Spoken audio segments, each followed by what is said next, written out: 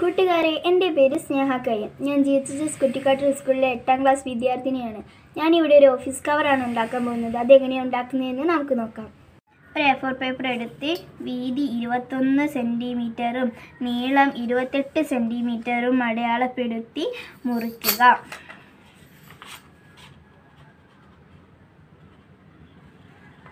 മുറിച്ച് കളഞ്ഞതിന് ശേഷം വീതി വശത്ത് അഞ്ച് സെന്റിമീറ്ററും പത്ത് സെന്റിമീറ്ററും അടയാളപ്പെടുത്തുക. രണ്ട് വശത്തും അടയാളപ്പെടുത്തുക.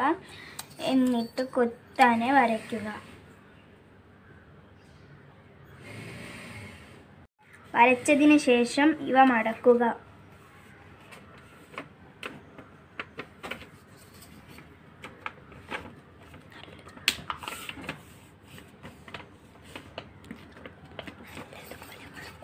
നല്ലതുപോലെ മടക്കുക.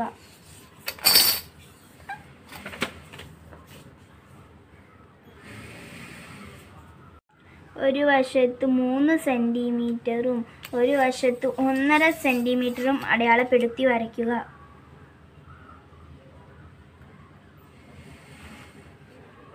അടയാളപ്പെടുത്തി നിർത്തി ഇവ കോണായി മുറിച്ചെടുക്കുക.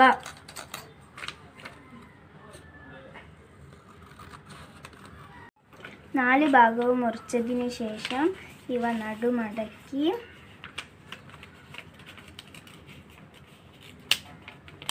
മടക്കിയതിന് ശേഷം ഇവിടെ കോണായി മുറിക്കുക. ഇവിടെ കോണ ആവശ്യമെങ്കിൽ കോണായിട്ടും വട്ട വട്ടത്തിലാണെങ്കിൽ വട്ടമായിട്ട് മുറിക്കുക. ഞാൻ ഇവിടെ വട്ടത്തിലാണ് മുറിക്കുന്നത്.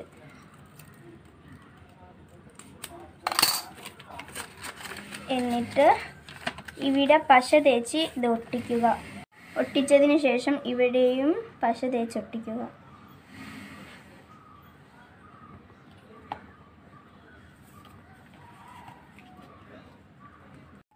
ഒട്ടിച്ചതിന് ശേഷം ഇവിടെ മടക്കുക. ഓഫീസ് കവർ റെഡിയായി.